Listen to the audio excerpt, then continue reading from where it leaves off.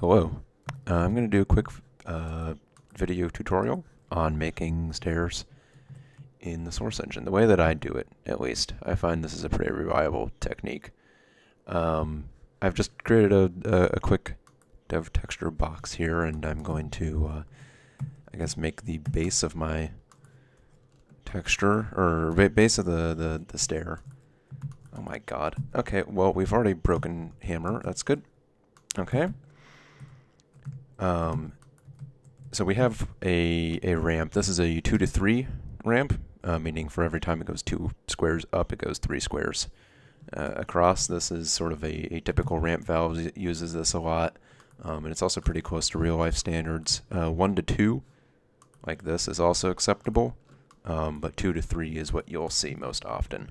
Um, and it also sort of, uh, it, it, since it's steeper than uh, 1 to 2, it will make for a smaller staircase. Um, and every once in a while, you'll maybe be able to get away with one to one like this, a 45 degree angle. Um, those those can look uh, kind of out of place in a lot of situations. Anyways, I have this uh, base ramp, and to turn it into a stair first, I'm going to texture this as no draw. And then what I'm going to do is make a single stair. I'm going to make this 8 by 12 and vertex that in. So now I just have a single stair. And I'm going to figure out like what texture do I want here. Um, just look stair. Sure, that's a stair texture. Um, and then rotate this so it's looking correct. Is that right? I feel like there's a lip to this texture that I should see that I'm not seeing. I think this is the facing the wrong way. Yeah, there we go. Now I can see the lip. And then uh, using shift and arrow keys to nudge, I get the next one in place. Also note that I have texture lock on. Uh, if I don't have texture lock on, then you'll see the textures get out of whack. We don't want that. Um, so we're going to go ahead and just get four stairs into place. And I'm going to tie all those together as a func detail. That way I can kind of move all of them around at once. Then go to objects, or no, solids. And now I'm going to uh, scramble the textures a little bit. You'll note that if I look at this from the side, um, all the textures are the same and they line up, and that looks really unnatural, uh, especially when you have a lot more stairs. Um, so one technique that I like to do is to um, I'm using Shift L to turn on and off texture lock. You can see it toggling up here as I press it. Um, I can turn texture lock off, shift something over, turn it on, shift it back, and now you can already see the scrambling start to happen. I'm going to do this again. Um, as such, and now all four of these stairs have sort of different texture alignments.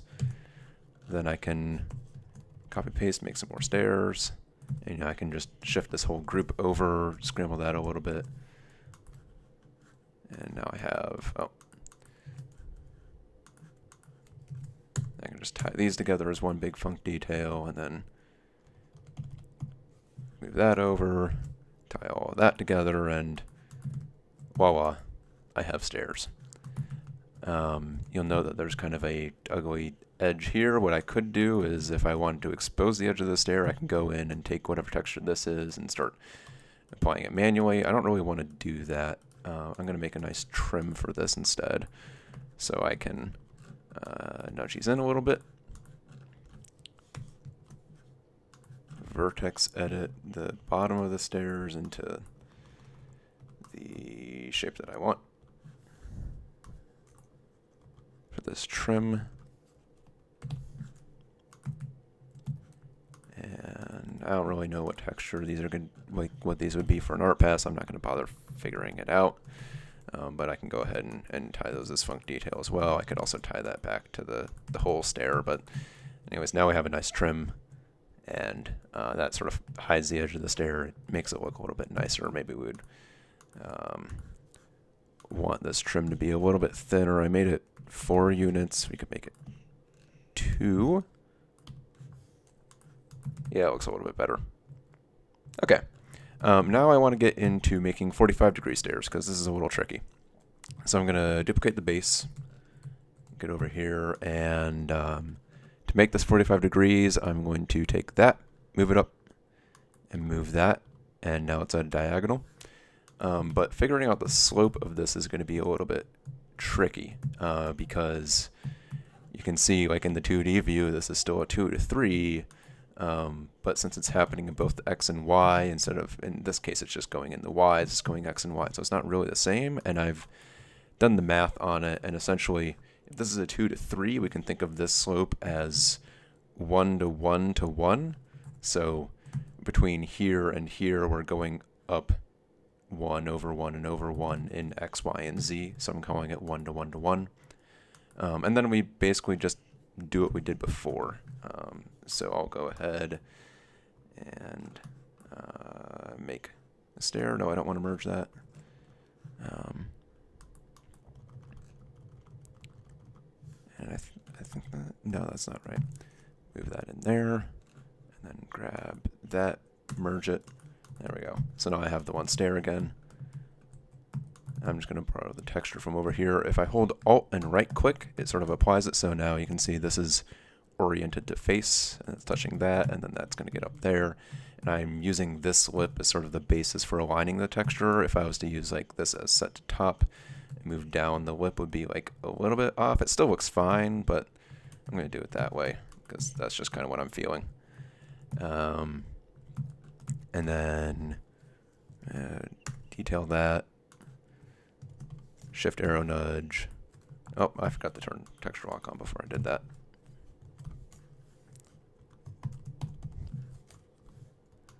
Tie that together.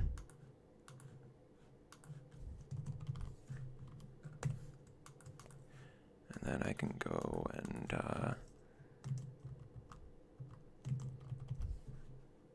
Well, that didn't shift it a ton. This is looking uh, kind of messy with the way that I'm aligning these textures. But I'm also doing this very quickly.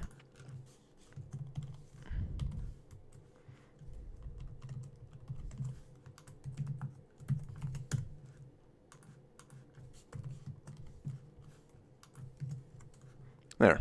Now I have a 45 degree stair. And just to show that this stair and this stair are similar, I can um, I'll hide this and I can rotate this back and you'll see sort of in this view that they are almost the, the same length. And we can also see that in the 3D view that the slopes are very, very close to being similar.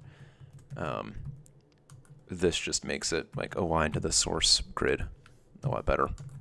You also, um, important things to know, um, I actually fucked this up. Um, I want kind of the underside of this to be all no draw. I don't honestly know um, if the bottom of the stair needs to be no draw. Um, I, I, don't see why you wouldn't do it, coin on this thing, but you definitely do want the bottom of this to be no draw, um, especially if the stair is a, a uh, world brush underneath and not a detail. Because um, what can happen is, say you have um, a platform down here, and you have a platform up here like this. What can happen is if this is textured, uh, the source engine, when you're when you compile the map, won't necessarily know to cull this face underneath. It won't like get rid of it automatically, um, and the source engine also likes to try and smooth the lighting between faces that it thinks um, should be smooth together. And so what might happen is it just it ignores the func details like I have it that that turned off and it'll smooth these faces together and so the lighting um, here will sort of blend into this face and then you'll just have like this weird black blobby shadow extending from the stairs here and from here and it just looks bad um, so if you set this to no draw, you're essentially ensuring that that never happens. That face underneath the stairs shouldn't exist. So if you just get rid of it, um, then you won't have any issues in that regard.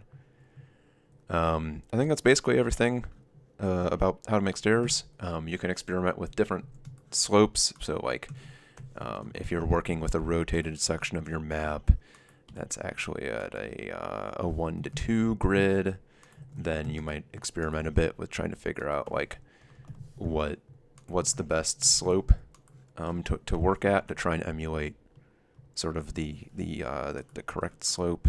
I'm not sure if that makes sense. Um, that's pretty close. Anyways, um, that's a basic overview of how I do stairs.